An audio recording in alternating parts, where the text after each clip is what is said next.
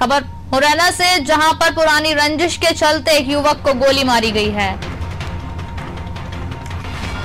घायल युवक को अस्पताल में भर्ती कराया गया है। तीन बदमाशों ने वारदात को अंजाम दिया है।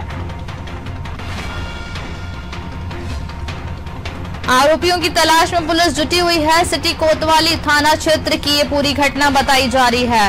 खबर मुरैना से, जहाँ पर पुरानी रंजिश के चलते युवक को गोली मारी गई। घायल अवस्था में युवक को अस्पताल में भर्ती कराया गया है। तीन बदमाशों ने वारदात को अंजाम दिया। आरोपियों की तलाश में पुलिस जुटी हुई है। सिटी कोतवाली थाना क्षेत्र का ये पूरा मामला बताया जा रहा है।